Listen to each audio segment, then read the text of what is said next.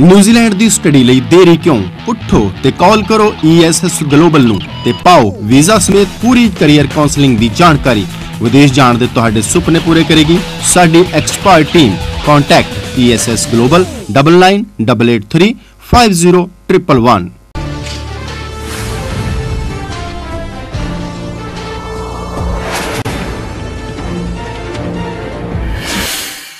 ਦੇਸ਼ ਪ੍ਰਦੇਸ਼ ਲਾਈਵ ਦੇਖ ਰਹੇ ਸਾਰੇ ਦਰਸ਼ਕਾਂ ਦਾ ਅੱਜ ਦੇ ਸ਼ੋਅ ਦੇ ਵਿੱਚ ਗੁਰਿੰਦਰ ਪੱਟੀ ਵੱਲੋਂ, ਰਣਬੀਰ ਸੰਧੂ ਵੱਲੋਂ ਈਐਸਐਸ ਦੀ ਟੀਮ ਅਤੇ ਦੇਸ਼ ਪ੍ਰਦੇਸ਼ ਲਾਈਵ ਦੀ ਸਮੁੱਚੀ ਟੀਮ ਵੱਲੋਂ ਸਾਰੇ ਦਰਸ਼ਕਾਂ ਦਾ ਅੱਜ ਦੇ ਸ਼ੋਅ ਦੇ ਵਿੱਚ ਵਿਸ਼ੇਸ਼ ਤੌਰ ਤੇ ਸਵਾਗਤ ਹੈ। ਇਸ ਮੁਹਿੰਮ ਦੇ ਵਿੱਚ ਬੜਾ ਹੁੰਗਾਰਾ ਮਿਲ ਰਿਹਾ ਹੈ।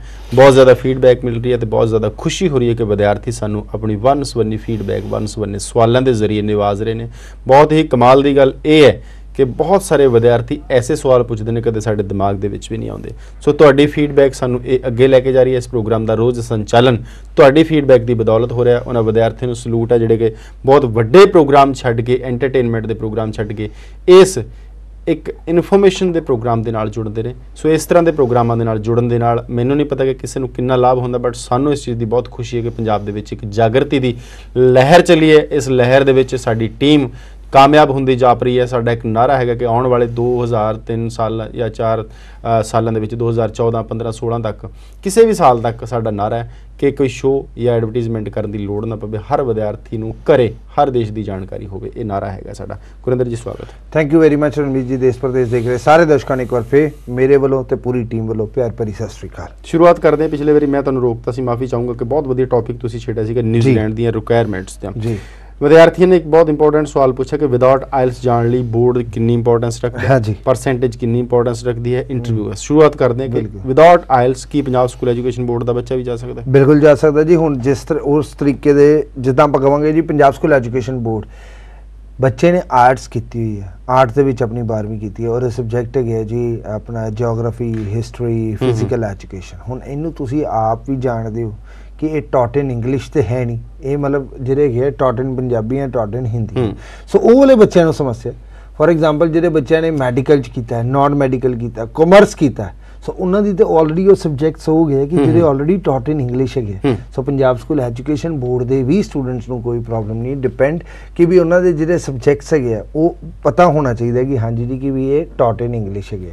ਕਾਫੀ ਵਾਰ ਇਹ ਵੀ ਹੁੰਦਾ ਕਿ ਕਾਫੀ ਸਕੂਲਸ ਦੇ ਵਿੱਚ ਕਿ ਵੀ ਜਿੱਦਾਂ ਹਿਸਟਰੀ ਜੀਓਗ੍ਰਾਫੀ ਐਂਡ ਜਿਸ ਆਪਣਾ ਹੋਰ ਵੀ ਕਾਫੀ ਸਬਜੈਕਟਸ ਹੁੰਦੇ ਜਿਸ ਤਰ੍ਹਾਂ ਕਿ ਆਪਣਾ ਹੋ ਗਿਆ ਐਂਡ ਉਹਦੇ ਵਿੱਚ ਹਿੰਦੀ ਪੰਜਾਬੀ ਦੀ ਬਜਾਏ ਉਹ ਵੀ ਟੌਟ ਇਨ ਇੰਗਲਿਸ਼ ਹੁੰਦੇ ਸੋ ਉਹਦੇ ਵਿੱਚ ਉਹਨਾਂ ਨੂੰ ਇੱਕ ਸਰਟੀਫਿਕੇਟ ਲੈਣਾ ਪਏਗਾ ਆਪਣੇ ਸਕੂਲ ਤੋਂ ਕਿ ਪਿਛਲੀ ਮੇਰੀ 5 ਸਾਲ ਦੀ ਐਜੂਕੇਸ਼ਨ ਜਿਹੜੀ ਹੈ ਉਹ ਟੌਟ ਇਨ ਇੰਗਲਿਸ਼ ਹੈਗੀ ਆ। ਹੁਣ ਇਹ ਕੱਲਾ 12ਵੀਂ ਨਹੀਂ ਗ੍ਰੈਜੂਏਸ਼ਨ ਦੇ ਉੱਤੇ ਵੀ ਹੈ। ਹੂੰ। ਕਿ ਫੋਰ ਐਗਜ਼ਾਮਪਲ ਕਿਸੇ ਨੇ ਬੀਏ ਕੀਤੀ ਹੈ ਕਿਸੇ ਵੀ ਯੂਨੀਵਰਸਿਟੀ ਤੋਂ ਉਹਨੂੰ ਇੱਕ ਸਰਟੀਫਿਕੇਟ ਲੈਣਾ ਪਏਗਾ ਆਪਣੇ ਕਾਲਜ ਤੋਂ ਆਪਣੇ ਸਕੂਲ ਤੋਂ ਕਿ ਇਹਦੀ ਜਿਹੜਾ ਮੀਡੀਅਮ ਆਫ ਇਨਸਟਰਕਸ਼ਨ ਇਸ ਬੱਚੇ ਦਾ ਹੈ ਪਿਛਲੇ 5 ਸਾਲਾਂ ਤੋਂ ਉਹ ਇੰਗਲਿਸ਼ ਹੈ। ਆਪਾਂ ਕਹਿੰਦੇ ਕਿ ਜੇ ਤੁਸੀਂ 12ਵੀਂ ਕੀਤੀ ਹੈ ਕਿ ਤੁਹਾਡੇ ਇੰਗਲਿਸ਼ ਦੇ ਵਿੱਚ 60% ਨੰਬਰ ਹੈ ਤੁਸੀਂ ਨਿਊਜ਼ੀਲੈਂਡ ਵਿਦਆਊਟ ਆਈਐਲਟੀਐਸ ਜਾ ਸਕਦੇ ਹੋ। ਹੁਣ ਆਪਾਂ ਕਹਿੰਦੇ 60% ਨੰਬਰ ਐਗਰੀਗੇਟਡ ਦੀ ਗੱਲ ਕਰਾਂ ਇੰਗਲਿਸ਼ ਦੇ ਨਹੀਂ ਸਿਰਫ ਇੰਗਲਿਸ਼ ਦੀ ਗੱਲ ਕਰਦੇ ਜੀ Board ਕੋਈ ਹੈ? 60% ਕੋਈ ਵੀ ਬੋਰਡ ਹੈ। ਚਾਹੇ ਉਹਦੇ ਵਿੱਚ ਨਹੀਂ ਚਾਹੇ ਪੰਜਾਬ ਬੋਰਡ ਹੈ ਚਾਹੇ ਉਹ ਸੀਬੀਐਸਈ ਬੋਰਡ ਹੈ ਚਾਹੇ ਉਹ ਆਈਸੀਐਸਈ ਬੋਰਡ ਹੈ ਉਹ ਕਿਸੇ ਦੇ ਵਿੱਚ ਵੀ ਹੋਵੇ ਕਿਸੇ ਦੇ ਵਿੱਚ ਵੀ ਹੋਵੇ ਕੋਈ ਕੋਈ। ਸਮੱਸਿਆ ਨਹੀਂ। ਕਿਸੇ ਨੇ 3 ਸਾਲ ਦਾ ਆਪਣਾ 12ਵੀਂ ਤੋਂ ਬਾਅਦ ਇਹ 10ਵੀਂ ਤੋਂ ਬਾਅਦ 3 ਸਾਲਾਂ ਦਾ ਆਈਟੀਆਈ ਦਾ ਡਿਪਲੋਮਾ ਕੀਤਾ। ਉਹਨੂੰ ਵੀ ਇੰਗਲਿਸ਼ ਦੀ ਲੋੜ ਨਹੀਂ ਹੈ। ਇਹ ਕਾਫੀ ਵਾਰ ਆਉਂਦਾ, ਭਾਜੀ ਮੈਂ ਤੇ 12ਵੀਂ ਕੀਤੀ ਨਹੀਂ, ਮੈਂ ਤੇ 3 ਸਾਲਾਂ ਦਾ ਆਈਟੀਆਈ ਦਾ ਡਿਪਲੋਮਾ ਕੀਤਾ ਹੈ ਵਾ ਵੁੱਡ ਮੈਨੂਫੈਕਚਰਿੰਗ ਦਾ ਕੀਤਾ ਜਾਂ ਕਿਸੇ ਵੀ ਹੋਰ ਦਾ ਕੀਤਾ ਕੰਪਿਊਟਰਸ ਦੇ ਵਿੱਚ ਕੀਤਾ, ਉਹਨੂੰ ਜਾਂ ਟੈਕਸਟਾਈਲ ਉਹਦੇ ਵਿੱਚ ਕੀਤਾ। ਸੋ ਉਹਨੂੰ ਇੱਕ ਚਿੱਠੀ ਲੈਣੀ ਪੈਣੀ ਹੈ ਕਿ ਵੀ ਜਿਹੜੇ ਯਾਰ ਇਹ 5 ਸਾਲਾਂ ਦੀ ਜਿਹੜੀ ਐਜੂਕੇਸ਼ਨ ਹੈਗੀ ਹੈ ਉਹ ਟੌਟ ਇਨ ਇੰਗਲਿਸ਼ ਹੈ। Medium of instruction of this student is English throughout his studies from last 5 years so ਜਦੋਂ ਇਹ ਵਾਲਾ ਸਰਟੀਫਿਕੇਟ ਇੱਕ ਇਸ਼ੂ ਹੋ ਜਾਂਦਾ ਵਾ ਕਾਲਜ ਤੋਂ, ਤੇ ਅੱਗੇ ਉਹ ਜਿਹੜੇ ਕਾਲਜਸ ਐਂਡ ਯੂਨੀਵਰਸਿਟੀਜ਼ ਜਿੱਥੇ ਜਾ ਕੇ ਤੁਸੀਂ ਐਡਮਿਸ਼ਨ ਲੈਣੀ ਹੈ ਉਹਨਾਂ ਨੂੰ ਕੋਈ ਵੀ ਸਮੱਸਿਆ ਨਹੀਂ ਹੁੰਦੀ ਤੁਹਾਨੂੰ ਐਡਮਿਸ਼ਨ ਨਹੀਂ ਦਿੰਦੀ ਸੋ ਉਹਦੇ ਵਿੱਚ ਕੀ ਜਿਹੜੇ 12ਵੀਂ ਦੇ 60% ਨੰਬਰ ਹੈ ਉਹ ਵੀ ਐਗਜ਼ਿਸਟ ਨਹੀਂ ਕਰਦੇ। ਹੁਣ ਫੋਰ ਐਗਜ਼ਾਮਪਲ ਇਹ ਹੋ ਗਿਆ ਜੀ 12ਵੀਂ ਦਾ ਐਂਡ 10ਵੀਂ ਤੋਂ ਬਾਅਦ ਜਿਨ੍ਹਾਂ ਨੇ ਆਈਟੀਆਈ ਕੀਤੀ ਹੈ। ਹੁਣ ਉਹ ਸਟੂਡੈਂਟ ਦਾ ਵੀ ਅੱਗੇ ਆ ਜਾਂਦਾ ਹੈ ਕਿ ਵੀ ਜਿਹੜੇ ਬੱਚੇ ਨੇ ਇੱਥੇ ਗ੍ਰੈਜੂਏਸ਼ਨ ਕਰਕੇ ਜਾਣਾ। ਹੁਣ ਜੋ ਬੱਚੇ ਨੇ ਗ੍ਰੈਜੂਏਸ਼ਨ ਕੀਤੀ ਹੈ ਹੁਣ ਉਹ ਆਪਣਾ ਉਹਦਾ ਇੰਗਲਿਸ਼ ਸਬਜੈਕਟ ਜੇਕਰ ਨਹੀਂ ਹੈ ਤੇ ਫਿਰ ਕੀ ਹੈ? ਫਿਰ ਉਹਨੂੰ 60% ਨੰਬਰ ਚਾਹੀਦੇ। ਨਹੀਂ ਉਹਨੂੰ ਸਿਰਫ ਇੱਕ ਸਰਟੀਫਿਕੇਟ ਚਾਹੀਦਾ ਹੈ ਕਿ ਪਿਛਲੇ 5 ਸਾਲ ਤੋਂ ਜਿਹੜਾ ਹੈਗਾ ਵਾ ਕਿ ਉਹਦੀ ਐਜੂਕੇਸ਼ਨ ਜਿਹੜੀ ਹੈ ਉਹ ਟੌਟ ਇਨ ਇੰਗਲਿਸ਼ ਹੈ। ਉਹ ਬੰਦਾ ਅੱਗੇ ਨਿਊਜ਼ੀਲੈਂਡ ਫਿਰ ਉਹ ਲਈ college ਜਾ ਤੋਂ ਲਊਗਾ। ਕਿ ਹਾਂ ਕਾਲਜ ਤੋਂ ਲੈ ਸਕਦਾ ਵਾ। ਕਾਫੀ ਸਟੂਡੈਂਟਸ ਇਦਾਂ ਦੇ ਵੀ ਦੇਖਦੇ ਕਿ ਵੀ ਜੇਕਰ ਆਪਾਂ ਨਿਊਜ਼ੀਲੈਂਡ ਦੀ ਆਇਲਸ ਰਿਕੁਆਇਰਮੈਂਟ ਦੀ ਗੱਲ ਕਰ ਲਈਏ 12ਵੀਂ ਤੋਂ ਬਾਅਦ ਤੁਹਾਨੂੰ 5.5 ਬੈਂਡ ਘੱਟੋ ਘੱਟ 5 ਸਾਰਿਆਂ 'ਚ। ਜੇਕਰ ਤੁਸੀਂ ਗ੍ਰੈਜੂਏਸ਼ਨ ਤੋਂ ਬਾਅਦ ਜਾ ਰਹੇ ਹੋ, ਤਦ ਵੀ 5.5 ਜਾਂ 6 ਬੈਂਡ ਓਵਰਆਲ ਚਾਹੀਦੇ। ਨਿਊਜ਼ੀਲੈਂਡ ਦਾ ਇੱਕ ਹੈ ਕਿ 5 ਤੋਂ ਘੱਟ ਤੁਹਾਡੇ ਕਿਸੇ ਵੀ ਮੋਡਿਊਲ ਦੇ ਵਿੱਚ ਨਾ ਹੋਣ। ਜਿਹੜਾ ਤੁਹਾਡੀ ਸਟੱਡੀਜ਼ ਇੱਥੇ ਹੈ, ਉਹਦੇ ਨਾਲ ਰਿਲੇਟਡ ਹੀ ਅੱਗੇ ਤੁਸੀਂ ਐਜੂਕੇਸ਼ਨ ਦੇ ਵਿੱਚ ਜਾਓ। ਕਾਫੀ ਲੋਕਾਂ ਵੱਲੋਂ ਇਹ ਰੌਲਾ ਰੱਪਾ ਪਾਇਆ ਜਾਂਦਾ, ਗਲਤੀਆਂ ਏਜੰਟਸ ਦੀਆਂ ਆਪਣੀਆਂ ਹੁੰਦੀਆਂ, ਕਿ ਵੀ ਐਪਲੀਕੇਸ਼ਨ ਕੈਨੇਡਾ ਦੀ ਭਰ ਕੇ ਇਹ ਜਿਹੜੀ ਹੈ ਰਿਫਿਊਜ਼ਲ ਆ ਰਹੀ ਹੈ, ਬਹੁਤ ਜ਼ਿਆਦਾ ਰਿਫਿਊਜ਼ਲ ਆ ਗਈ। ਜੀ ਸੈਸ਼ਨ ਬਰਬਾਦ ਹੋ ਗਿਆ ਹੋ ਗਿਆ। ਆਪਣੀਆਂ ਗਲਤੀਆਂ ਨਹੀਂ ਕੋਈ ਦੇਖਦਾ, ਆਪਣੀ ਬੇੜੀ ਥੱਲੇ ਸੋਟਾ ਨਹੀਂ ਮਾਰਦਾ ਕਿ ਵੀ ਕੀ ਗਲਤੀ ਸੀ ਪ੍ਰੋਫਾਈਲ ਜਿਸ ਕਰਕੇ ਐਪਲੀਕੇਸ਼ਨ ਰਿਜੈਕਟ ਹੋ ਕੇ ਆਈ ਹੈ ਲੋਕੀ ਬਲਕ ਵੱਲ ਜਾਂਦੇ ਕਿ ਵੀ ਕੈਨੇਡਾ ਦੀ ਭਰ ਭਰ ਕੇ ਐਪਲੀਕੇਸ਼ਨ ਆਏ ਆਪ ਕਦੀ ਵੀ ਉਹ ਐਪਲੀਕੇਸ਼ਨ ਉੱਤੇ ਜ਼ੋਰ ਨਹੀਂ ਲਾਉਂਦੇ ਸੋ ਕੈਨੇਡਾ ਜਿਹੜੇ ਬੰਦਿਆਂ ਦੇ ਵੀ ਕੈਨੇਡਾ ਦੀ ਐਪਲੀਕੇਸ਼ਨ ਸੁਣਨ ਦੇ ਵਿੱਚ ਇਹ ਆਇਆ ਕਿ ਵੀ ਹਜ਼ਾਰਾਂ ਦੀ ਤਾਦਾਦ ਦੇ ਵਿੱਚ ਐਪਲੀਕੇਸ਼ਨਸ ਰਿਫਿਊਜ਼ ਹੋਈਆਂ ਲੋਕਾਂ ਦੇ ਨਾਮ ਵੀ ਆਏ ਕਿ ਵੀ ਇੰਨਾ ਫਲਾਣੇ ਬੰਦਿਆਂ ਕੋਲੋਂ ਅਸੀਂ ਐਪਲੀਕੇਸ਼ਨ ਰਿਜੈਕਟ ਕੀਤੀ ਅਸੀਂ ਗਲਤੀ ਕਰ ਲਈ ਚਲੋ ਹੁਣ ਉਹ ਜਿਹੜੀ ਚੀਜ਼ ਹੋ ਗਈ ਉਹ ਹੋ ਗਈ। ਗਾਂ ਤੋਂ ਤੁਸੀਂ ਐਪਲੀਕੇਸ਼ਨ ਲਾਉਣਾ ਚਾਹੁੰਦੇ ਹੋ। ਈਐਸਐਸ ਗਲੋਬਲ ਦੀ ਸਮੁੱਚੀ ਟੀਮ ਨੂੰ ਕੰਟੈਕਟ ਕਰ ਸਕਦੇ ਹੋ ਕਿ ਵੀ ਕੈਨੇਡਾ ਦਾ ਜੇਕਰ ਤੁਹਾਡਾ ਰਿਫਿਊਜ਼ਲ ਹੋਇਆ ਦੁਬਾਰਾ ਕੈਨੇਡਾ ਜਨਰਲ ਕੈਟਾਗਰੀ ਦੇ ਵਿੱਚ ਲਾਉਣ ਲਈ ਕੈਪਸ ਨੋਟ ਨਿਕਲਵਾ ਕੇ ਜਾਂ ਤੁਸੀਂ ਆ ਨਿਊਜ਼ੀਲੈਂਡ ਲਈ ਅਪਲਾਈ ਕਰਨਾ ਹੈ ਜਾਂ ਆਸਟ੍ਰੇਲੀਆ ਲਈ ਅਪਲਾਈ ਕਰਨਾ ਹੈ ਤੇ ਆਪਣੀ ਐਪਲੀਕੇਸ਼ਨ ਦਰਜ ਕਰ ਸਕਦੇ ਹੋ। ਇਮੀਡੀਏਟਲੀ ਅੱਗੇ ਫਰਵਰੀ ਦੇ ਇਨਟੇਕ ਤੇ ਦਾਖਲੇ ਹਜੇ ਵੀ ਚੱਲ ਰਹੀ ਹੈ ਤਾਂ ਕ੍ਰਿਸਮਸ ਤੋਂ ਪਹਿਲੇ ਪਹਿਲੇ ਆਪਣੀ ਐਪਲੀਕੇਸ਼ਨ ਜਿਹੜੀ ਹੈ ਉਹ ਲੌਂਚ ਕਰਕੇ ਕਿਉਂਕਿ ਮੋਰੇ 5-7 ਛੁੱਟੀਆਂ ਆਈਆਂ ਐਪਲੀਕੇਸ਼ਨ ਦਰਜ ਕਰਕੇ ਅੱਜ ਵੀ ਤੁਸੀਂ ਫੈਬਰੂਰੀ ਇਨਟੇਕ ਲਈ ਆਪਣਾ ਜਿਹੜਾ ਹੈਗਾ ਵਾ ਲੌਂਚ ਕਰ ਸਕਦੇ ਹੋ। ਅੱਗੇ ਜਿਹੜਾ ਕੈਨੇਡਾ ਦਾ ਨਾਨ ਐਸਪੀਪੀ ਜਨਰਲ ਦੇ ਵਿੱਚ ਕੈਟਾਗਰੀ ਦੇ ਵਿੱਚ ਕਹਿਣਾ ਉਰੇ ਫਰਵਰੀ ਦੇ ਵਿੱਚ ਵੀ ਐਂਡ ਮਾਰਚ ਦੇ ਵਿੱਚ ਵੀ ਐਡਮਿਸ਼ਨਸ ਹਜੇ ਵੀ ਚੱਲ ਰਹੀਆਂ। ਜਿਨ੍ਹਾਂ ਨੇ ਐਸਪੀਪੀ ਲਈ ਅਪਲਾਈ ਕਰਨਾ, ਉਹਨਾਂ ਦਾ ਮੈਂ ਅਗਲਾ ਇਨਟੇਕ ਹੈਗਾ ਵਾ ਉਹਦੇ ਲਈ ਅਪਲਾਈ ਕਰ ਗੁਰਿੰਦਰ ਜੀ, ਇੱਕ ਸਵਾਲ ਬੜਾ ਇੰਪੋਰਟੈਂਟ ਪੈਦਾ ਹੁੰਦਾ। ਜਿਵੇਂ ਤੁਸੀਂ ਗੱਲ ਕੀਤੀ ਕਿ ਹਜ਼ਾਰਾਂ ਦੀ ਤਾਦਾਦ ਦੇ ਵਿੱਚ ਰਿਜੈਕਟ ਹੋਏ ਨੇ ਕੇਸ ਕੈਨੇਡਾ ਦੇ। ਉਹਨਾਂ ਨੂੰ ਗੁੰਮਰਾਹ ਕੀਤਾ ਗਿਆ ਕੁਝ ਵੀ ਲਾ ਲਓ। ਦੂਜਾ ਪਾਸਾ ਇਹ ਆ ਜਾਂਦਾ ਕਿ ਨਿਊਜ਼ੀਲੈਂਡ ਤੋਂ ਰਿਜੈਕਟਡ ਵਿਦਿਆਰਥੀ ਲਈ ਕੀ ਆਪਸ਼ਨ ਹੈ? ਤੁਸੀਂ ਉਧਰ ਦਾ ਕਹਤਾ ਕਿ ਕੇਪ ਨੋਟ ਕਢਵਾ ਕੇ ਦੁਬਾਰਾ ਇਹ ਪ੍ਰੋਗਰੈਸ਼ਨ ਦਿਖਾ ਕੇ। ਤੁਸੀਂ ਵੀਜ਼ਾ ਲਵਾ ਦੋਗੇ। ਜਿਵੇਂ ਈਐਸਐਸ ਦੀ ਟੀਮ ਦੀ ਹੈ ਤੁਹਾਡੀ ਗੱਲ ਕਰਾਂ ਵਿਦਿਆਰਥੀ ਰਿਜੈਕਟਡ ਆਲਰੇਡੀ ਨਿਊਜ਼ੀਲੈਂਡ ਤੋਂ ਹੈ ਤੇ ਮਨ ਵੀ ਨਿਊਜ਼ੀਲੈਂਡ ਜਾਣਦਾ ਹੈਗਾ। ਹੈ। ਉੱਥੇ ਕੀ ਹਾਲਾਤ ਨੇ? ਉਹਦੇ ਵਿੱਚ ਇਹ ਕਿ ਵੀ ਉਹਦੀ ਪਹਿਲੇ ਐਪਲੀਕੇਸ਼ਨ ਇੱਥੋਂ ਹੀ ਕਿਉਂਕਿ ਉਹਦੇ ਵਿੱਚ ਕੀ ਹੈ ਕਿ ਉਹਦੇ ਵਿੱਚ ਕੈਨੇਡਾ ਦੇ ਕੰਨੀ ਰਿਫਿਊਜ਼ਲ ਲੈਟਰ ਆਂਦੀ ਕੈਨੇਡਾ ਦੇ ਕੈਪਸ ਨੋਟ ਕਿਉਂ ਨਿਕਲਵਾਣੇ ਪੈਂਦੇ ਆ? ਕਿਉਂਕਿ ਵੀ ਡਿਟੇਲਡ ਉਹ ਰਿਫਿਊਜ਼ਲ ਲੈਟਰ ਨਹੀਂ ਦਿੰਦੇ ਕਿ ਉਹ mark ਕਰ ਦਿੰਦੇ ਨੇ ਬਸ। ਕਰ ਦਿੰਦੇ ਫਿਕਸ ਫਾਰਮੈਟ ਹੈ ਟਿਕ ਕਰ ਦਿੰਦੇ ਉਹਦੇ ਵਿੱਚ ਬੰਦੇ ਨੂੰ ਕਲੀਅਰ ਨਹੀਂ ਹੁੰਦਾ ਕਿ ਵੀ ਮੇਰਾ ਮੇਰੀ ਅਸਲ ਗਲਤੀ? ਰਿਜੈਕਟ ਕਿਉਂ ਹੋਇਆ ਹੈ। ਵੇਅਰ ਐਸ ਨਿਊਜ਼ੀਲੈਂਡ ਜਦੋਂ ਤੁਹਾਡੀ ਐਪਲੀਕੇਸ਼ਨ ਰਿਜੈਕਟ ਹੋਏਗੀ ਉਹ ਇੱਕ ਟੋਟਲ ਡਿਟੇਲਡ ਰਿਫਿਊਜ਼ਲ ਲੈਟਰ ਆਏਗੀ ਰਣਵੀਰ ਜੀ। ਉਹਦੇ ਵਿੱਚ ਉਹਨਾਂ ਨੇ ਸਾਰੀਆਂ ਚੀਜ਼ਾਂ ਲਿਖੀਆਂ ਹੁੰਦੀਆਂ ਕਿ ਇਸ ਬੰਦੇ ਦਾ ਇਸ ਪੁਆਇੰਟ ਕਰਕੇ ਐਪਲੀਕੇਸ਼ਨ ਰਿਜੈਕਟ ਹੋਈ। ਇਹਦੇ ਕੋ ਆਹ ਕਾਗਜ਼ ਮੰਗਿਆ ਗਿਆ ਇਹਦੇ ਕੋ ਆਹ ਪੁੱਛਿਆ ਗਿਆ ਇਹਨੇ ਇਹਦਾ ਆਹ ਜਵਾਬ ਦਿੱਤਾ ਜਿਸ ਕਰਕੇ ਐਪਲੀਕੇਸ਼ਨ ਰਿਜੈਕਟ ਕੀਤੀ ਗਈ। ਉਹਨੂੰ ਥੋਰਲੀ ਸਟੱਡੀ ਕਰਕੇ ਜੇਕਰ ਉਹਦੇ ਵਿੱਚ ਕੋਈ ਕਮੀ ਹੈ ਉਹਨੂੰ ਪੂਰੀ ਕਰਕੇ ਲੱਗਦਾ ਕਿ ਹਾਂਜੀ ਜੀ ਇਹ ਆ ਪੁਰਾਣੀ ਗਲਤੀ ਹੋਈ ਸੀ ਇਹਨੂੰ ਆਪਾਂ ਪੂਰਨ ਤੌਰ ਤੇ ਉਹਨੂੰ ਕੰਪਲੀਟ ਕਰ ਸਕਦੇ ਹਾਂ ਐਂਡ ਅਸੀਂ ਦੁਬਾਰਾ ਅਪਲਾਈ ਕਰ ਸਕਦੇ ਹਾਂ ਤੇ ਬਿਲਕੁਲ ਉਹਨੂੰ ਦੁਬਾਰਾ ਅਪਲਾਈ ਕਰਨਾ ਚਾਹੀਦਾ। ਜੇਕਰ ਉਹ ਜਿਹੜਾ ਵਿਚਲਾ ਗੈਪ ਹੈਗਾ ਵਾ ਉਹਨੂੰ ਆਪਾਂ ਕੰਪਲੀਟ ਨਹੀਂ ਕਰ ਸਕਦੇਗੇ। ਦੈਨ ਉਹ ਕਹਿੰਦੇ ਨਾ ਉਹ ਅੜਨ ਦਾ ਜਾਂ ਤੜਨ ਦਾ ਉਹ ਆਕੜੇ ਰੁੱਖ ਹਮੇਸ਼ਾ ਨਿਕਲ ਜਾਂਦੇ ਹੁੰਦੇ ਆ। ਸੋ ਉਹ ਆਕੜਨ ਦਾ ਉਹਦੇ ਵਿੱਚ ਫਾਇਦਾ ਨਹੀਂ ਕਿ ਜੇਕਰ ਉਹ ਨਹੀਂ ਹੋ ਸਕਦਾ ਦਿਮਾਗ ਨਾਲ ਕੰਮ ਲਓ। ਜੇ ਉਧਰ ਵਾਲੇ ਬੰਨੇ ਨਹੀਂ ਹੋ ਸਕਦਾ you can apply for Australia ਜਦੋਂ ਤੁਸੀਂ ਆਸਟ੍ਰੇਲੀਆ ਪੀਆਰ ਹੋ ਜਾਂਦੇ ਹੋ ਤੁਸੀਂ ਨਿਊਜ਼ੀਲੈਂਡ ਕਦੀ ਵੀ ਜਾ ਸਕਦੇ ਹੋ। ਨਿਊਜ਼ੀਲੈਂਡ ਪੀਆਰ ਹੋ। ਜਾਂਦੇ ਹੋ ਤੁਸੀਂ ਕਦੀ ਵੀ ਆਸਟ੍ਰੇਲੀਆ ਆ ਸਕਦੇ ਹੋ। So Australia New Zealand is a connection so ਉਹਦੇ ਵਿੱਚ ਕਾਫੀ ਇਹ ਦੇਖਿਆ ਕਿ ਯਾਰ ਡਰ ਆ ਜਾਂਦਾ। ਯਾਰ ਮੇਰਾ ਨਿਊਜ਼ੀਲੈਂਡ ਐਪਲੀਕੇਸ਼ਨ ਰਿਜੈਕਟ ਹੋਈ। ਪਤਾ ਨਹੀਂ ਮੇਰਾ ਆਸਟ੍ਰੇਲੀਆ ਲੱਗੂਗਾ ਕਿ ਨਹੀਂ ਲੱਗੂਗਾ।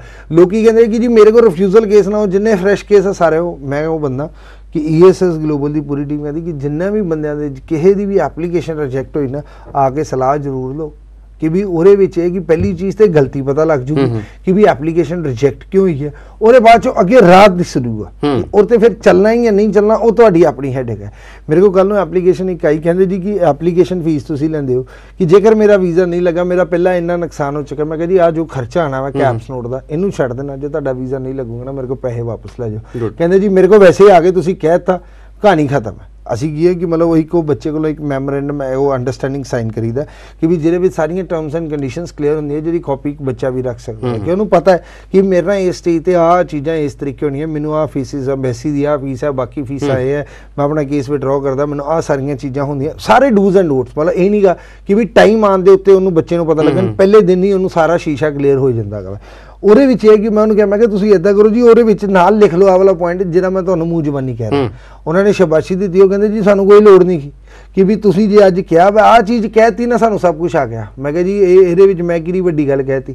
ਕਹਿੰਦੇ ਜੀ ਉਹੀ ਇੱਕ ਦੂਸਰੇ ਬੰਦੇ ਕੋਲ ਗਏ ਸੀ ਉਹ ਕਹਿੰਦੇ ਕਿ ਜੇਕਰ ਸਾਡੇ ਉਸ ਬੰਦੇ ਕੋਲ ਐਪਲੀਕੇਸ਼ਨ ਰਿਜੈਕਟ ਹੋਈ ਕਹਿੰਦਾ ਜੀ ਹੁਣ ਤੁਸੀਂ ਜੇ ਜਨਰਲ ਕੈਟਾਗਰੀ ਚ ਕੈਨੇਡਾ ਦਾ ਅਪਲਾਈ ਕਰਨਾ ਨਾ ਦੁਬਾਰਾ ਪੈਸੇ ਦਿਓਗੇ ਤੇ ਕਰਾਂਗੇ।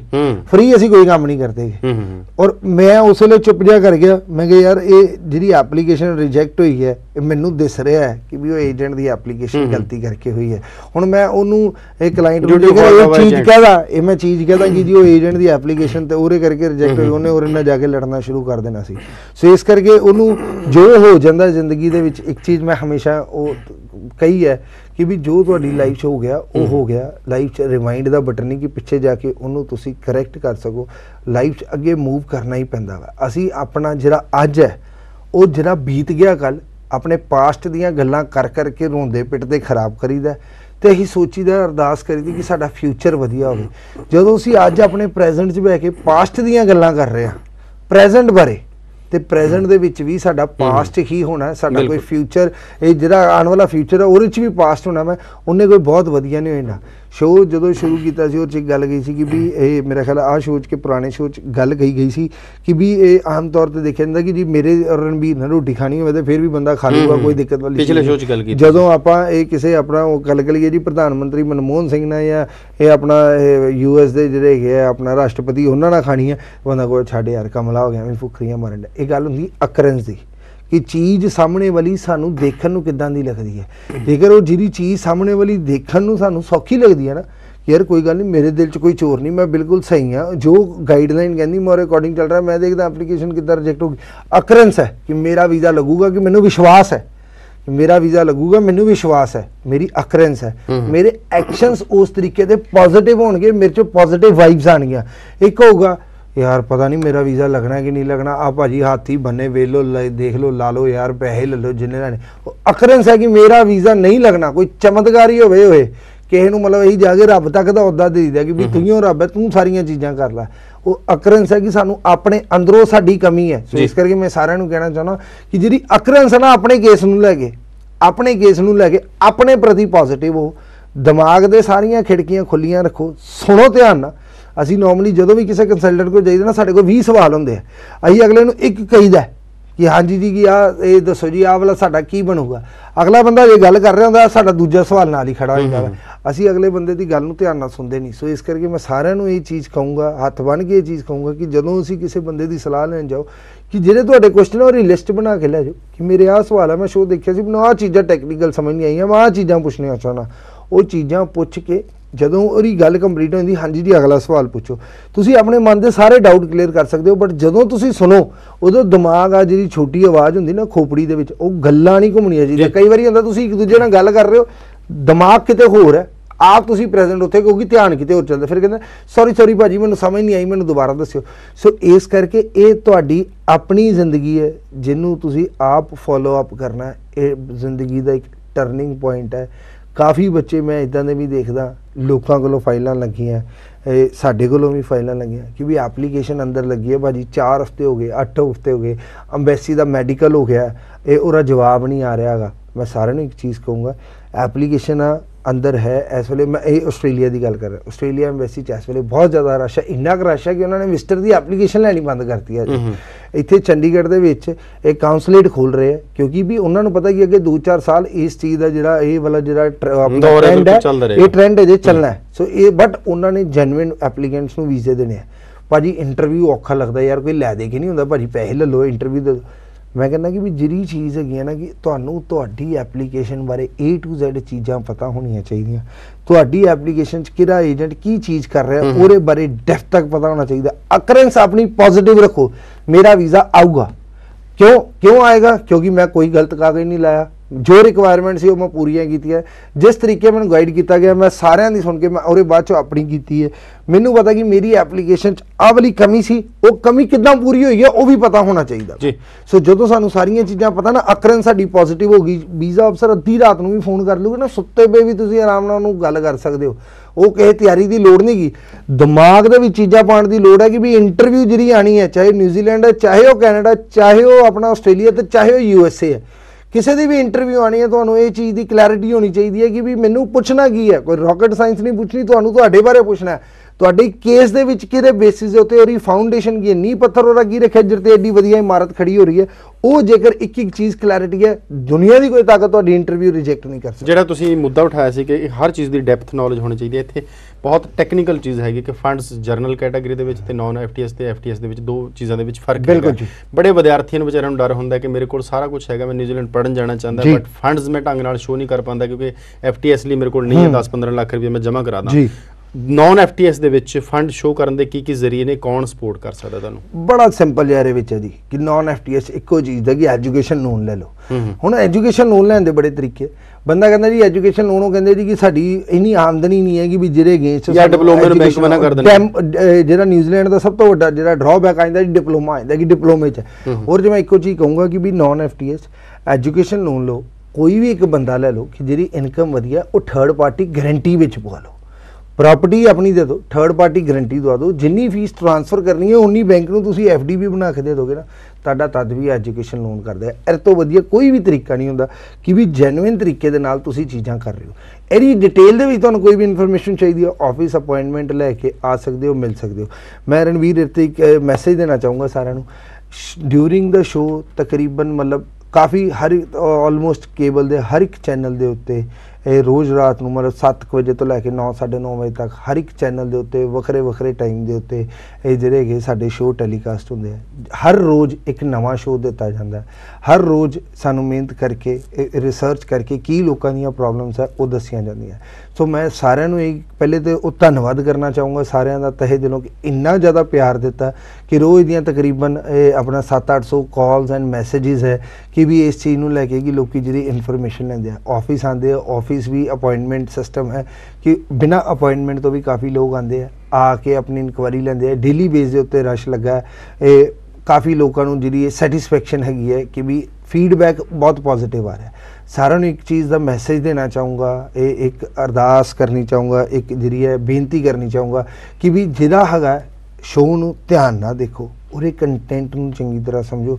ਤੁਹਾਡਾ ਸ਼ੋਅ ਦੇ ਦੌਰਾਨ ਕੋਈ ਵੀ ਸਵਾਲ ਹੁੰਦਾ ਕਿ ਜਿਹੜਾ ਤੁਸੀਂ ਚਾਹੁੰਦੇ ਹੋ ਕਿ ਇਹ ਟੌਪਿਕ ਨਹੀਂ ਕੀਤਾ ਗਿਆ ਜਿਹੜਾ ਕਿ ਮੈਂ ਬਹੁਤ ਦੇਰ ਹੋ ਗਿਆ ਕਿ ਮੈਂ ਸੁਣਦਾ ਪਿਆ ਬਟ ਮੈਂ ਇਹ ਚਾਹਨਾ ਕਿ ਇਹ ਟੌਪਿਕ ਬੋਲਿਆ ਜਾਵੇ ਈਮੇਲ ਦੇ ਉੱਤੇ ਉਹ ਡਿਟੇਲ ਲਿਖ ਕੇ ਈਮੇਲ ਕਰ ਦਿਓ ਸਕਾਈਪ ਉੱਤੇ ਮੈਸੇਜ ਕਰ ਦਿਓ ਆ ਜਿਹੜੇ ਨੰਬਰ ਫਲੈਸ਼ ਕੀਤੇ ਗਏ ਇਹਨਾਂ ਤੇ ਮੈਸੇਜਸ ਕਰੋ ਟੈਕਸਟ ਮੈਸੇਜਸ ਕਰੋ ਕਿ ਤੁਹਾਨੂੰ ਸਾਡਾ ਸ਼ੋਅ ਕਿਦਾਂ ਦਾ ਲੱਗਾ ਤੁਸੀਂ ਕੀ ਚਾਹੁੰਦੇ ਹੋ ਅਗਲੇ ਸ਼ੋਅ ਤੁਹਾਨੂੰ ਕਿਸ ਤਰੀਕੇ ਦਾ ਇਹ ਅਸੀਂ ਜਿਹੜਾ ਵਾ ਕਿ ਆਪਾਂ ਟੌਪਿਕ ਡਿਸਕਸ ਕਰੀਏ ਤੁਸੀਂ ਚਾਹੁੰਦੇ ਹੋ ਸਾਡੀ ਟੀਮ ਤੁਹਾਡੇ ਘਰੇ ਆਵੇ ਉਹ ਵੀ ਆ ਕੇ ਇਹ ਤੁਹਾਡੀ ਜਿਹੜੀ ਕਾਉਂਸਲਿੰਗ ਵਾਸਤੇ ਨਹੀਂ ਕਿ ਵੀ ਤੁਹਾਡਾ ਇਹ ਫੀਡਬੈਕ ਲੈਣ ਵਾਸਤੇ ਕਿ ਤੁਸੀਂ ਸ਼ੋਅ ਤੇ ਆਉਣਾ ਚਾਹੁੰਦੇ ਹੋ ਕਿ ਤੁਸੀਂ ਆਪਣੀ ਹੱਡ ਬੀਤੀ ਲੋਕਾਂ ਅੱਗੇ ਰੱਖਣਾ ਚਾਹੁੰਦੇ ਹੋ ਕਿ ਵਧੀਆ ਜਾਂ ਮਾੜੀਆਂ ਚੀਜ਼ਾਂ ਕੀ ਹੋਈਆਂ?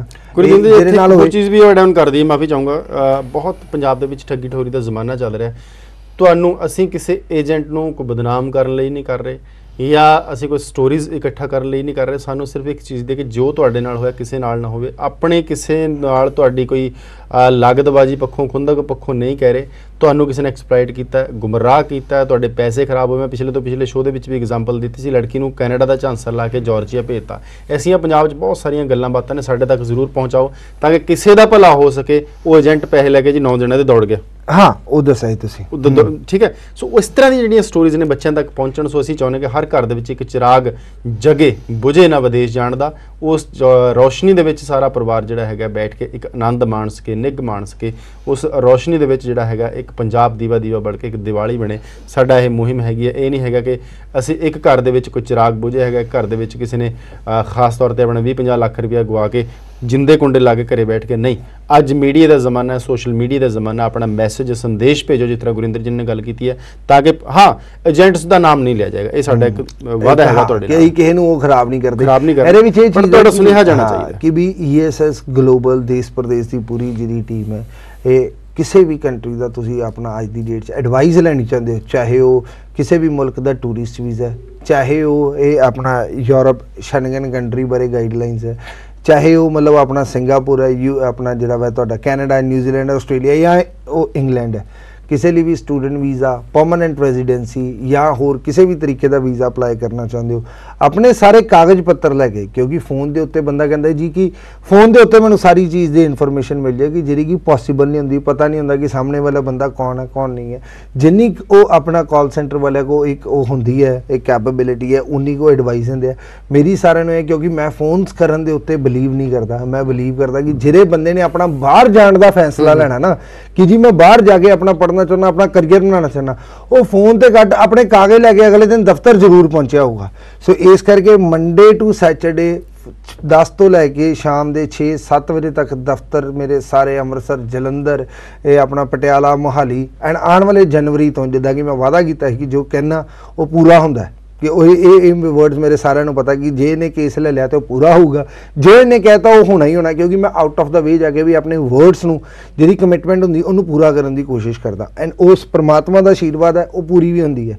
ਕਿ ਜਨਵਰੀ ਦੇ ਵਿੱਚ ਇਹ ਆਪਣਾ ਮਾਲਵਾ ਦੇ ਵਿੱਚ ਮਾਲਵਾ ਵਾਸੀਆਂ ਵਾਸਤੇ ਕਿ ਲੁਧਿਆਣੇ ਦੇ ਵਿੱਚ ਸੈਂਟਰ ਸ਼ੁਰੂ ਹੋ ਜਾਏਗਾ। ਮਾਰਚ ਤੋਂ ਪਹਿਲੇ ਪਹਿਲੇ ਬਠਿੰਡੇ ਦਾ ਵਾਅਦਾ ਹੈ, ਉੱਥੇ ਵੀ ਸੈਂਟਰ ਸ਼ੁਰੂ ਹੋ ਜਾਏਗਾ। ਸੋ ਆਪਣੇ ਜਿੰਨੇ ਕੇਸਿਸ ਹੈ, ਆਪਣੇ ਸੱਜਣਾ ਮਿੱਤਰਾਂ ਦੇ, ਜਿਨ੍ਹਾਂ ਦਾ ਤੁਹਾਨੂੰ ਪਤਾ ਕਿ ਕੇਸ ਲੱਗੇ, ਬੜਾ ਟਾਈਮ ਹੋ ਗਿਆ, ਕੋਈ ਹਿੱਲਾ ਵਸੀਲਾ ਨਹੀਂ ਹੋ ਰਿਹਾ। ਇਹ ਇਹ ਸੱਜੇ ਖੱਬੇ ਝੂਠੀ ਸੱਚੀ ਇਨਫੋਰਮੇਸ਼ਨ ਲੈ ਕੇ ਆਪਣਾ ਬੇੜਾਗਰ ਕਰ ਰਿਹਾ। ਉਹ ਆ ਕੇ ਪੂਰੀ ਸਮੁੱਚੀ ਟੀਮ ਕੋ ਇੱਕ ਵਾਰ ਐਡਵਾਈਸ ਜ਼ਰੂਰ ਲੈਣ, ਆਪਣੇ ਸਾਰੇ ਓਰੀਜਨਲ ਡਾਕੂਮੈਂਟ ਲੈ ਕੇ, ਫਿਰ ਚੰਗਾ ਲੱਗਦਾ ਅਪਲਾਈ ਕਰਨਾ ਹੈ ਜਾਂ ਨਹੀਂ ਕਰਨਾ, ਉਹਨਾਂ ਦਾ ਆਪਣਾ ਕਰੀਅਰ ਹੈ, ਆਪਣੀ ਜ਼ਿੰਦਗੀ ਹੈ। ਬਟ ਮੈਂ ਇਹ ਚੀਜ਼ ਦਾ ਮੈਸੇਜ ਦੇਣਾ ਚਾਹੁੰਦਾ, ਤੁਹਾਡੀ ਲਾਈਫ ਦਾ ਸਵਾਲ ਹੈ, ਤੁਹਾਡੀ ਜ਼ਿੰਦਗੀ ਦਾ ਟਰਨਿੰਗ ਪੁਆਇੰਟ ਹੈ, ਇੱਕ ਉਹ ਜਿਹੜੇ ਸਰਟੀਫਿਕੇਟਸ ਜਿਹੜੀ ਕਿ ਤੁਹਾਡੀ ਪ੍ਰਾਪਰਟੀ ਹੈ, ਬੜੀ ਸਾਲਾ ਮਿਹਨਤ ਇਕੱਠੇ ਕਰਕੇ ਔਰ ਮਿਹਨਤ ਕਰਕੇ ਇਕੱਠੀ ਕੀਤੀ ਹੈ। ਸੋ ਇਹ ਵਾਲੀ ਜਿਹੜੀ ਚੀਜ਼ ਹੈਗੀ ਹੈ ਇਹ ਵਾਲਾ ਲਿੱਤਾ ਆ ਫੈਸਲਾ ਤੁਹਾਡੀ ਜ਼ਿੰਦਗੀ ਨੂੰ ਇੱਕ ਮੁਕਾਮ ਤੇ ਵੀ ਪਹੁੰਚਾ ਸਕਦਾ ਔਰ ਬੇੜਾ ਕਰਕੇ ਵੀ ਕਰ ਸਕਦਾ। ਸੋ ਇਹ ਵਾਲਾ ਜਿਹੜਾ ਜਿਹੜਾ ਫੈਸਲਾ ਇਹ ਸੋਚ ਸਮਝ ਕੇ ਲਓ। ਐਂਡ ਜਦੋਂ ਵੀ ਅਪਲਾਈ ਕਰਨਾ ਵਾ ਜਾਂ ਕੋਈ ਕਾਉਂਸਲਿੰਗ ਲੈਣੀ ਹੈ ਇਹ ਨਹੀਂ ਕਿ ਵੀ ਚਲੇ ਗਏ ਚੱਲ ਯਾਰ ਆਪ ਜਾ ਕੇ ਲੈਣੇ ਸਭ ਕੁਝ ਪਤਾ ਹੀ ਹੈ ਜਾਂ ਈਮੇਲ 'ਚ ਕਰ ਲਾਂਗੇ। ਇੱਕ ਉਹ ਕਾਗਜ਼ ਦੇਖ ਕੇ ਜਦੋਂ ਬੰਦਾ ਉਹਦੇ ਵਿੱਚ ਵੜਦਾ ਐਂਡ ਉਹਦੀ ਉਹ ਸਾਰੀ ਅਸੈਸਮੈਂਟ 5 ਸੈਕਿੰਡ ਦੇ ਵਿੱਚ ਹੋ ਜਾਂਦੀ ਹੈ ਕਿ ਵੀ ਇਹਦੇ ਲਈ ਕੀ ਬੈਸਟ ਹੈ। ਔਰ ਬੰਦਾ ਜਿੰਦਾ ਜਾਗਦਾ ਸਾਹਮਣੇ ਬੈਠਾ ਹੁੰਦਾ ਕਿ ਕੋਈ ਹੋਰ ਨਾਲ ਰਿਲੇਟਡ ਸਵਾਲ ਹੁੰਦਾ ਕਿ ਜੋ ਇੱਕ ਵੀਜ਼ਾ ਅਫਸਰ ਨੇ ਪੁੱਛਣਾ ਅਸੀਂ ਪੁੱਛ ਸਕਦੇ ਆ ਜਦੋਂ ਇੱਕ ਹੈਗਾ ਕਿ ਵੀ ਤੁਸੀਂ ਕਾਗਜ਼ ਨਹੀਂ ਲੈ ਆਏ, ਸਿਰਫ ਇੱਕ ਉੱਤੇ ਲਿਖਤਾ ਕਿ ਜੀ ਮੇਰੀ 12ਵੀਂ ਇਹਦੇ ਵਿੱਚ ਸੀ ਤੇ ਮੇਰੇ ਇੰਨੇ ਨੰਬਰ ਸੀ ਉਹ ਵਾਲੀ ਚੀਜ਼ ਦੀ ਉਹ ਡੈਪਥ ਅਸੈਸਮੈਂਟ ਜਿਹੜੀ ਹੈ ਨਾ ਉਹ ਸਵਾਦ ਨਹੀਂ ਆਉਂਦਾ ਉਸ ਚੀਜ਼ ਦਾ। ਸੋ ਇਸ ਕਰਕੇ ਕਿ ਜਦੋਂ ਮੈਨੂੰ ਮਿਲਣ ਨਹੀਂ ਆਣਾ ਆਪਣੇ ਓਰੀਜਨਲ ਕਾਗਜ਼ ਜ਼ਰੂਰ ਲੈ ਕੇ ਆਣੇ ਔਰ ਜਿੰਨੇ ਬੰਦੇ ਸ਼ੋਅ ਦੇਖ ਰਹੇ ਆ ਉਹ ਸਾਰਿਆਂ ਨੇ ਆਫਿਸ ਆ ਕੇ ਵਿਜ਼ਿਟ ਜ਼ਰੂਰ ਗੁਰਿੰਦਰ ਜੀ ਚੱਲਦੇ ਚੱਲਦੇ ਇੱਕ ਸਵਾਲ ਜ਼ਰੂਰ ਪੁੱਛਣਾ ਚਾਹੂੰਗਾ 3 ਮਿੰਟ ਦਾ ਸਮਾਂ ਬਚਿਆ ਬਹੁਤ ਸਾਰੇ ਵਿਦਿਆਰਥੀਆਂ ਨੇ ਡਾਟ ਹੈ। ਕਿ ਜਦੋਂ ਅਸੀਂ ਇੱਕ ਪਲੱਸ 2 ਕਰ ਲਈ ਫਿਰ ਡਿਗਰੀ ਕਰ ਲਈ। ਕਿਸੇ ਤਰ੍ਹਾਂ ਦੀ ਗ੍ਰੈਜੂਏਸ਼ਨ ਫਿਰ ਮਾਸਟਰ ਡਿਗਰੀ ਕਰ ਲਈ। ਅੱਗੇ ਤਾਂ ਬਚਦਾ ਹੀ ਕੁਝ ਨਹੀਂ ਕਿ ਅਸੀਂ ਮਾਸਟਰ ਤੋਂ ਬਾਅਦ ਵੀ ਨਿਊਜ਼ੀਲੈਂਡ ਜਾ ਸਕਦੇ ਹਾਂ ਵਿਦਿਆਰਥੀ ਬਿਲਕੁਲ ਜਾ ਸਕਦੇ। ਜਿਨ੍ਹਾਂ ਨੇ ਮਾਸਟਰਸ ਕੀਤੀ ਉਹ ਦੁਬਾਰਾ ਮਾਸਟਰ ਸਪੈਸ਼ਲਾਈਜੇਸ਼ਨ ਦੇ ਵਿੱਚ ਜਾ ਸਵਾਲ ਨਹੀਂ ਸਕਦੇ ਪੈਦਾ ਹੈ। ਹੋਏਗਾ ਕਿ ਤੁਸੀਂ ਆਲਰੇਡੀ ਕਰ ਚੁੱਕੇ ਹੋ। ਨਹੀਂ ਕੋਈ ਗੱਲ ਨਹੀਂ। ਇੱਕ ਬੰਦੇ ਨੇ ਇੱਥੇ ਐਮਏ ਕੀਤੀ ਹੈ। ਜਰਨਲ ਐਮਬੀਏ ਕੀਤੀ ਹੈ। ਠੀਕ ਹੈ ਨਾ? ਮੈਂ ਕਹਿੰਦਾ ਜੀ ਉਹਨੇ ਇੱਕ ਇੱਕ ਐਮਏ ਦਾ ਲੈ ਲਓ ਇੱਕ ਐਮਬੀਏ ਲੈ ਲਓ ਇੱਕ ਐਮਸੀਏ ਵੀ ਲੈ ਲਓ. ਇੱਕ ਬੰਦੇ ਨੇ ਐਮਸੀਏ ਕੀਤੀ ਹੈ ਜੀ ਬੀਸੀਏ ਤੋਂ ਬਾਅਦ ਦੋਆਂ ਸਾਲਾਂ ਦੀ। ਉਹ ਐਮਸੀਏ ਦੇ ਵਿੱਚ ਉਹਦੇ 6 ਸਬਜੈਕਟ ਹੈ। ਮੈਂ ਕਹਿੰਦਾ ਜੀ ਦੁਬਾਰਾ ਬੰਦਾ ਜਿਹੜਾ ਹੈਗਾ ਵਾ ਕਿ ਉਸੇ ਸਬਜੈਕਟ 6ਾਂ ਚੋਂ ਇੱਕ ਸਬਜੈਕਟ ਚੂਜ਼ ਕਰਕੇ ਕਿ ਇੱਕ ਪਾਰਟਿਕੂਲਰ ਸਪੈਸ਼ਲਾਈਜੇਸ਼ਨ ਸਪੈਸ਼ਲਾਈਜੇਸ਼ਨ ਕਰਨ ਜਾਣਾ ਚਾਹੁੰਦਾ। ਬਿਲਕੁਲ ਜਾ ਸਕਦਾ ਹੈ। ਜੇਕਰ ਉਹ ਕਹਿੰਦਾ ਜੀ ਕਿ ਮੈਂ ਸਪੈਸ਼ਲਾਈਜੇਸ਼ਨ ਵੀ ਇੱਥੇ ਕਰ ਲਈ ਹੈ, ਹੁਣ ਮੈਨੂੰ ਰਿਸਰਚ ਕਰਨੀ ਹੈ ਤੇ ਉਹ ਡੀ ਲਈ ਵੀ ਜਾ ਸਕਦਾ। ਦੁਨੀਆ ਡੀ ਦੇ ਕੇਸਿਸ ਨੂੰ ਹੱਥ ਹੀ ਨਹੀਂ ਪਾਉਂਦੀ। ਕਿਉਂਕਿ ਡੀ ਦੇ ਬੱਚਿਆਂ ਨੂੰ ਪੈਸੇ ਮਿਲਦੇ ਆ ਪੈਸੇ ਖਰਚਣ ਦੀ ਲੋੜ ਨਹੀਂ ਹੁੰਦੀ। ਜ਼ਰੂਰ ਪੈਸੇ ਪੇ ਕਰਨੇ ਪੈਂਦੇ ਆ ਬਟ ਉੱਥੇ ਜਿਹੜਾ ਹੈਗਾ ਵਾ D is a research program basically doctorate ਹੈ। ਇੱਕ ਰਿਸਰਚ ਦੀ। ਕਈਏ ਇਦਾਂ ਦੇ ਮਹਾਪੁਰਖ ਡੀ ਦੀ ਉਹਨਾਂ ਨੂੰ ਫੁੱਲ ਫਾਰਮ ਹੀ ਨਹੀਂ ਪਤਾ। ਉਹ ਆ ਡਾਕਟਰੀ ਡਾਕਟਰੀ ਹੁੰਦੀ ਯਾਰ ਪਤਾ ਨਹੀਂ ਨਾਮ ਅੱਗੇ ਡਾਕਟਰ ਲਿਖਦਾ। ਇਦਾਂ ਦੀਆਂ ਚੀਜ਼ਾਂ ਵੀ ਸਾਹਮਣੇ ਆਉਂਦੀਆਂ। ਸੋ ਮੱਥਾ ਮਤਲਬ ਹੱਥ ਜਿਹੜਾ ਨਾ ਉਹ ਮੱਥੇ ਤੱਕ ਜਾਂਦਾ ਕਿ ਯਾਰ ਇਹ ਬੰਦਾ ਕੀ ਕਰ ਰਿਹਾ ਵਾ ਕਿ ਮਤਲਬ ਆਪਣੇ ਆਪ ਨੂੰ ਮਤਲਬ ਐਜੂਕੇਸ਼ਨਿਸਟ ਕਹਿੰਦਾ ਕਿ ਮੈਂ ਬੰਦੇ ਬਾਹਰ ਭੇਜਦਾ, ਆਪ ਇੱਲੀ ਦਾ ਕੋਕੋ ਨਹੀਂ ਪਤਾ। ਮਾਸਟਰਸ ਕਰ ਲਈਏ ਦੋ ਵਾਰ ਮਾਸਟਰਸ ਕਰ ਲਈਏ ਫਿਰ ਦੁਬਾਰਾ ਅੱਗੇ ਤੁਸੀਂ ਕਿਸੇ ਵੀ ਮੁਲਕ ਦੇ ਵਿੱਚ ਦੁਬਾਰਾ ਰਿਸਰਚ ਵਾਸਤੇ ਜਾਂ ਇੱਕ ਉਹ ਜਿਹੜੇ ਸਬਜੈਕਟਸ ਕੀਤੇ ਆ, ਉਹਦੀ ਸਪੈਸ਼ਲਾਈਜੇਸ਼ਨ ਵਾਸਤੇ ਆਪਣਾ ਜਿਹੜਾ ਵਾ ਜਾ ਸਕਦੇ ਹੋ। ਜਾਂਦੇ ਜਾਂਦੇ ਇੱਕ ਸਾਰਿਆਂ ਨੂੰ ਮੈਸੇਜ ਦੇਣਾ ਜ਼ਰੂਰ ਚਾਹਾਂਗਾ ਕਿ ਵੀ ਉਸ ਪਰਮਾਤਮਾ ਦੀ ਇਹ ਜਿਹੜਾ ਵਾ ਰਜ਼ਾ ਦੇ ਵਿੱਚ ਰਹੋ ਕਿ ਕੁਦਰਤ ਜਿਹੜਾ ਹੈਗਾ ਵਾ ਕਿ ਤੁਹਾਡਾ ਸਭ ਤੋਂ ਵੱਡਾ ਦੋਸਤ ਹੈ। ਤੁਹਾਡੇ ਨਾਲ ਕੁਝ ਚੰਗਾ ਹੁੰਦਾ ਉਹ ਤੇ ਸਾਰੇ ਬਹੁਤ ਖੁਸ਼ ਹੁੰਦੇ ਕੁਝ ਮਾੜਾ ਵੀ ਹੁੰਦਾ ਨਾ ਉਹਦੇ ਪਿੱਛੇ ਵੀ ਕੁਝ ਨਾ ਕੁਝ ਵਧੀਆ ਚੀਜ਼ ਜੁੜੀ ਹੁੰਦੀ ਹੈ ਕਿ ਵੀ ਜੇ ਅੱਜ ਮਾੜਾ ਹੋਇਆ ਨਾ ਅੱਜ ਇਹ ਹਾਦਸਾ ਹੋ ਗਿਆ ਤੇ ਇਹਦੇ ਪਿੱਛੇ ਜ਼ਰੂਰ ਉਸ ਪ੍ਰਮਾਤਮਾ ਸਤਿਗੁਰ ਨੇ ਕੁਝ ਨਾ ਕੁਝ ਵਧੀਆ ਰੱਖਿਆ ਜਿਹੜਾ ਆਉਣ ਵਾਲੇ ਸਮੇਂ 'ਚ ਮੈਨੂੰ ਪਤਾ ਲੱਗੂਗਾ ਕਿ ਜੇ ਇਹ ਅੱਜ ਇਹ ਹਾਦਸਾ ਨਾ ਹੁੰਦਾ ਤੇ ਦੋਵਾਂ ਪੰਜਾਂ ਸਾਲਾਂ ਬਾਅਦ ਮੈਂ। ਉਸ ਲੈਵਲ ਤੇ ਵੀ ਨਾ ਪਹੁੰਚਦਾ। ਮੇਰੀ ਜ਼ਿੰਦਗੀ ਜਿਹੜੀ ਹੈ ਉਹਦਾ ਜਿੰਦਾ ਜਾਗਦਾ ਐਗਜ਼ਾਮਪਲ ਹੈ। ਉਸ ਪ੍ਰਮਾਤਮਾ ਦੀ ਰਹਿ 'ਚ ਖੁਸ਼ ਰਹੋ। ਜੇਕਰ ਬੰਦਾ ਰੋਜ਼ ਇਹ ਆਪਣਾ ਕਹਿਣਾ ਕਿ ਵੀ ਕਹਿੰਦੇ ਨਾ ਕਿਸੇ ਦਾ ਦਿਲ ਨਾ ਦਿਖਾਓ ਸਹੀ ਰਸਤੇ ਦੇ ਉੱਤੇ ਚੱਲੋ ਜਿੰਨਾ ਕੁ ਵਧੀਆ ਕਰ ਸਕਦੇ ਹੋ ਉਹਨਾਂ ਕਰ ਦਿਓ ਇਹ ਗੁਰਦੁਆਰੇ ਸਾਹਿਬ ਮੱਥਾ ਟੇਕੋ। ਇਹ ਜਿਨ੍ਹਾਂ ਦੇ ਕੇਸ ਲੱਗੇ ਉਹ ਕਹਿੰਦੇ ਜੀ ਇੱਧਰ ਉੱਧਰ ਭਟਕਦੇ ਪਿਆ ਕਿਸੇ ਨੂੰ ਜਾ ਕੇ ਰੱਬ ਕਹਿਣਾ ਕਿ ਵੀ ਉਹ ਇਹ ਤੂੰ ਰੱਬ ਵਰਗਾ ਹੀ ਹੈ ਉਹ ਕਹਿਣਾ ਬੰਦ ਕਰੋ। ਤੇ ਇਹ ਮੈਂ ਕਹਿੰਦਾ ਜੀ ਕਿ ਵੀ ਜੋੜੇ ਘਰ ਦੀ ਸੇਵਾ ਇਹ ਆਪਣੇ ਨਾਲ ਆਉਗੀ ਵੀ ਜੋੜੇ ਘਰ ਦੀ ਸੇਵਾ ਲਓ। ਤੇ ਇੱਕ ਜਿਹੜਾ ਹੈਗਾ ਜ਼ਿਕਰ ਹੋ ਸਕਦਾ ਹੈ ਨਿਤਨੇਮ ਸੁਖਮਨੀ ਸਾਹਿਬ ਦਾ ਪਾਠ ਜ਼ਰੂਰ ਕਰੋ। ਮਹਾਰਾਜ ਆਪ ਆ ਕੇ ਤੁਹਾਡੇ ਸਾਰਿਆਂ ਦੇ ਕੰਮ ਜਿਹੜੇ ਆ ਨਾ, ਉਹ ਸਫਲ ਹੋਊਗਾ। ਜਿੰਨੇ ਕੰਮ ਅਟਕੇ, ਉਹ ਸਾਰੇ ਹੋਣਗੇ। ਇਹ ਮੈਂ ਆਪਣੀ ਪਰਸਨਲ ਇਹ ਜਾਂਦੇ ਜਾਂਦੇ ਜਿਹੜੀ ਹੈ ਨਾ, ਕਿ ਇਹ ਇੱਕ ਆਪਣੀ ਹੱਡ ਬੀਤੀ ਤੁਹਾਨੂੰ ਸੁਣਾਈ ਹੈ। ਜਿਹੜਾ ਬੰਦਾ ਵੀ ਇਹ ਤੇ ਅਮਲ ਕਰੂਗਾ, ਉਸ ਪਰਮਾਤਮਾ ਦੇ ਲੜ ਲੱਗੂਗਾ। ਇਹ ਸਾਰੇ ਕਾਰਜ ਆਪਣੇ ਆਪ ਰਸ ਹੋਣਗੇ। ਕੋਈ ਵੀ ਚੀਜ਼ ਜਿਹੜੇ ਅੜੀਆਂ ਹੋਣਗੀਆਂ ਨਾ, ਇਹ ਉਹ ਵੀ ਪੂਰੀਆਂ ਹੋਣਗੀਆਂ। ਕਾਫੀ ਲੋਕ ਮੈਂ ਵੇਖਦਾ ਵਾਂ ਕਿ ਉਹ ਕਹਿੰਦੇ ਜੀ ਇਹ ਅੱਜ ਅਸੀਂ ਆ ਰਾਸ਼ੀ ਬੜੀ ਅੱਜ ਨਹੀਂ ਕੇਸ ਲਾਣਾ ਜੀ ਕੱਲ ਲਾਣਾ। ਮੈਂ ਕਹਿੰਦਾ ਜੀ ਉਹ ਸਭ ਕੁਝ ਇੱਕੋ ਹੈ। ਉਹ ਜੋ ਤੁਹਾਡੇ ਨਾਲ ਹੋਣਾ ਹੈ ਨਾ ਉਹ ਆਲਰੇਡੀ ਲਿਖ ਕੇ ਆਇਆ ਵਾ। ਉਹਨੂੰ ਨਹੀਂ ਕੋਈ ਟਾਲ ਸਕਦਾ ਸਿਰਫ ਬਾਕੀ ਚੀਜ਼ਾਂ ਦਾ ਇੱਕ ਬਹਾਨਾ ਬਣਨਾ ਹੈ। ਜੇ ਲਿਖਿਆ ਨਾ ਰਿਫਿਊਜ਼ਲ ਉਹ ਕਿਸੇ ਬੰਦੇ ਨੇ ਇੱਕ ਬਹਾਨਾ ਬਣ ਜਾਣਾ। ਕਿ ਜੀ ਉਹਨੇ ਸਹੀ ਸਿਲੈਕਟ ਨਹੀਂ ਕੀਤਾ ਇਸ ਕਰਕੇ ਰਿਫਿਊਜ਼ ਨਹੀਂ ਹੈ ਬਟ ਜੇ ਰਿਫਿਊਜ਼ ਹੋਇਆ ਨਾ ਉਹਦੇ ਬਾਅਦ ਚ ਉਹਦੀ ਸਟੋਰੀ ਕੁਝ ਵੱਖਰੀ ਹੋਏ। ਉਹ ਵੀ ਉਹਨੇ ਲਿਖੀ ਹੈ ਉਹ ਪਲਾਨ ਹੈ। ਇਹਦੇ ਚ ਨਾ ਇੱਕ ਮੈਂ ਰਣਵੀਰ ਜੀ ਇੱਕ ਇੱਕ ਮਿੰਟ ਲਾਉਂਗਾ। ਇੱਕ ਬੰਦਾ ਹੁੰਦਾ ਹੈ ਕਿ ਉਹ ਕਹਿੰਦਾ ਜੀ ਕਿ ਵੀ ਮੈਂ ਰੱਬਾ ਇੰਨੀ ਪਾਠ ਪੂਜਾ ਕਰਦਾ ਇੰਨਾ ਸਭ ਕੁਝ ਕਰਦਾ ਮੈਂ ਚੁਪਹਿਰੇ ਵੀ ਦੇਣਾ ਫਿਰ ਮੇਰੇ ਨਾਲ ਇੰਨਾ ਮਾੜਾ ਕਿਉਂ ਕੀਤਾ? ਮੇਰੀ ਸਾਰੀ ਪਲੈਨਿੰਗ ਹੀ ਤਾਂ ਬੇੜਾ ਕਰ ਕਰਤਾ। ਅੱਗੋਂ ਰੱਬ ਦੀ ਆਵਾਜ਼ ਆਉਂਦੀ ਕਹਿੰਦੇ ਕਾਕਾ ਅੱਜ ਤੇ ਤੂੰ 30 ਸਾਲਾਂ ਦਾ ਹੋ ਗਿਆ ਅੱਜ ਪਲੈਨਿੰਗ ਕਰਨ ਡਿਆ। ਉਸ ਪਲੈਨਿੰਗ ਦਾ ਕੀ? ਜਿਹੜੀ ਮੈਂ 30 ਸਾਲ ਪਹਿਲੇ ਤੇਰੇ ਵਾਸਤੇ ਕੀਤੀ ਸੀ ਅਗਲੇ 30 ਸਾਲਾਂ ਵਾਸਤੇ। ਕਿਆ ਬਾਤ। ਸੋ ਉਹ ਜਿਹੜੀ ਉਸ ਪ੍ਰਮਾਤਮਾ ਨੇ ਪਲੈਨਿੰਗ ਕੀਤੀ ਹੈ ਨਾ ਇਹ ਉਹ ਹੋ ਕੇ ਰਹਿਣੀ ਹੈਗੀ ਹੈ। ਸਾਨੂੰ ਸਿਰਫ ਆਪਣੇ ਮਾਈਂਡ ਨੂੰ ਇਹ ਸਭ ਕੁਝ ਇੱਥੇ ਹੁੰਦਾ ਆਪਣੇ ਮਾਈਂਡ ਨੂੰ ਸਮਝਾ ਕੇ ਉਹਦੀ ਰਜਾ 'ਚ ਖੁਸ਼ ਰਹਿਣਾ। ਜੋ ਹੋ ਰਿਹਾ ਵਧੀਆ ਹੋ ਰਿਹਾ।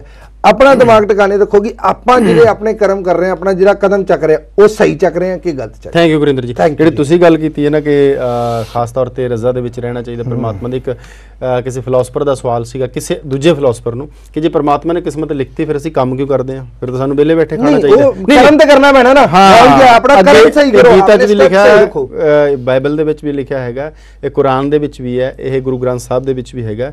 ਕਰਮ ਜਿਹੜਾ ਹੈਗਾ ਬਹੁਤ ਵੱਡੀ ਚੀਜ਼ ਹੈ। ਪਰਮਾਤਮਾ ਨੇ ਤੁਹਾਨੂੰ ਲਿਖਿਆ ਸਭ ਕੁਝ ਮਿਲਣਾ ਬਟ ਇੱਕ ਜ਼ਰੀਆ ਵੀ ਬਣਾਇਆ ਜੇ ਕੰਮ ਕਰੋਗੇ ਤਦ ਪੈਸਾ ਆਊਗਾ। ਜੇ ਆ ਕਰੋਗੇ ਤਦ ਪੈਸਾ ਆਊਗਾ। ਉਹ ਕਰਨਾ ਪੈਣਾ ਜੇ ਉਹ ਐਫਰਟਸ ਨਹੀਂ ਕਰੋਗੇ, ਕਿਸਮਤ ਦੇ ਵਿੱਚ ਲਿਖਿਆ ਹੋਇਆ, ਉਹ ਕਿਤੇ ਨਾ ਕਿਤੇ ਨਿਫਲ ਜਾ ਸਕਦਾ ਹੈਗਾ। ਸੋ ਵੈਸੇ ਵੀ ਕਹਿੰਦੇ ਨੇ ਕਿ ਅੱਜ ਸਾਡੇ ਜਿਹੜੇ ਚੰਗੇ ਗਾਇਕ ਨੇ, ਚੰਗੇ ਲਿਖਾਰੀ ਨੇ ਇਹ ਵੀ ਲਿਖਦੇ ਨੇ ਕਿ ਕਿਸਮਤ ਕੁਸਮਤ ਛੱਡ ਯਾਰਾ ਸਾਇੰਸ ਨੂੰ ਰੱਬ ਬਣਾ ਲੈ। ਸੋ ਸਾਇੰਸ ਜਿਹੜੀ ਹੈਗੀ ਹੈ, ਸਾਡੇ ਮੂਰੇ ਪਿਆ ਲੈਪਟਾਪ ਇੱਕ ਸਾਇੰਸ ਹੈਗਾ ਮੀਡੀਆ ਇੱਕ ਸਾਇੰਸ ਹੈਗਾ। ਤੁਸੀਂ ਆਪ ਇੱਕ ਵੱਡੀ ਸਾਇੰਸ ਹੋ, ਜਿਹੜੇ ਇੱਕ ਜੱਜ ਹੋ, ਸਭ ਤੋਂ ਵੱਡੇ। ਹਰ ਇੱਕ ਨੂੰ ਜੱਜ ਕਰਦੇ ਹੋ ਕਿ ਕੌਣ ਸਹੀ ਹੈ, ਕੌਣ ਗਲਤ ਹੈ। ਸੋ ਇਸ ਫੈਸਲੇ ਦੇ ਵਿੱਚ ਤੁਹਾਡੀ ਬਹੁਤ ਵੱਡੀ ਸਾਨੂੰ ਜ਼ਰੂਰਤ ਹੈਗੀ ਹੈ। ਰੋਜ਼ ਐਸੇ ਹੀ ਵੇਲੇ ਮੈਂ ਤੇ ਗੁਰਿੰਦਰ ਪੱਟੀ ਈਐਸਐਸ ਵੱਲੋਂ ਦੇਸ਼ ਪ੍ਰਦੇਸ਼ ਲਾਈਵ ਦੀ ਸਮੁੱਚੀ ਟੀਮ ਵੱਲੋਂ ਹਾਜ਼ਰ ਹੋਇਆ ਕਰਾਂਗੇ। ਆਪਣੀ ਫੀਡਬੈਕ ਸਾਨੂੰ ਜ਼ਰੂਰ ਭੇਜੋ। ਸ਼ੋਅ ਕਿਸ ਤਰ੍ਹਾਂ ਦਾ ਲੱਗਿਆ ਮੈਸੇਜ ਕਰੋ। ਇਸ ਸ਼ੋਅ ਦੇ ਵਿੱਚ ਕੀ ਟੌਪਿਕ ਹੋਣੇ ਚਾਹੀਦੇ ਨੇ, ਇਹ ਵੀ ਸਾਨੂੰ ਜ਼ਰੂਰ ਭੇਜੋ ਤਾਂ ਕਿ ਅਸੀਂ ਆਉਣ ਵਾਲੇ ਅਗਲੇ ਪ੍ਰੋਗਰਾਮ ਦੇ ਵਿੱਚ ਤੁਹਾਡੇ ਜਿਹੜੇ ਟੌਪਿਕਸ ਨੇ, ਉਹਨਾਂ ਨੂੰ ਚਰਚਾ ਦਾ ਵਿਸ਼ਾ ਬਣਾ ਸਕੀਏ। ਮੈਨੂੰ ਤੇ ਗੁਰਿੰਦਰ ਪੱਟੀ ਨੂੰ ਅੱਗੇ ਤੋਂ ਧੰਨਵਾਦ। ਸਤਿ ਸ਼੍ਰੀ ਅਕਾਲ।